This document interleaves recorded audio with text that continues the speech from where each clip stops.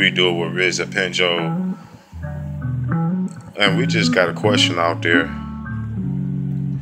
If you was a rapper, if you was a rapper, if you was a rapper, if you was a rapper, yo, if I was a rapper, I would spit and I would bring it. If I say my name, I'm the greatest and I'll claim it.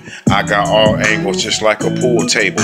When I say corner pocket, you know that I'm able to shoot it blindfolded, make it bounce off the rail, and come through, make the power of the force excel, put it forward. That's why I never go backwards. Every time what I spit, I'm calling it practice. So I'm laughing at the average MC and anybody out here on the earth that think they better than me. I'm just looking at the situation that I'm just facing. No hockey mask in this rap game, but I'm Jason. Yo, I walk around the lake cause I'm great. I'm the hand of the steak, so everybody first take. Beats to the break, man, this a piece of cake. Everybody talking about I be singing shit like I'm Drake.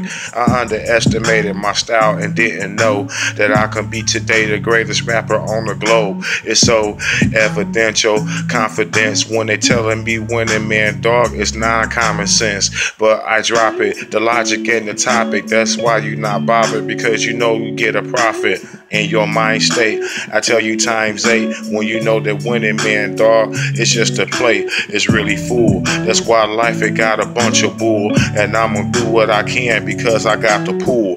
Yo, I did this and I live it. That's the reason why I spit it, cause the fact I am vivid. I know I pause for a moment. And any MC RIP, that's dog while I'm on it. Yo, they told me that I am blessed. I drop raps like this, so what the world they expect. I could never be less. I could never be threatened. I could never say some stuff and then up there second guessing what I said or what I quote, especially what I wrote. And if I wrote it down and then remembered it and say it's dope, and then somebody tell me it's not or never hot, that means that was something that quickly had to jot and try to finish an album, then push it out, and then have them rich people get them good looking but these people took out the skill of the rapper, and now everybody claim today they fantastic, but they not. That's why I came to rock the spot. If you heard me right now, you say winning man at the top of the mountain, never at the bottom. It's no problem. Any MC they can't spit, yo, they got them. Non-directed, non-perspective, the objective to do this and be the dopest and be the freshest. I passed the test. I'm old and blessed.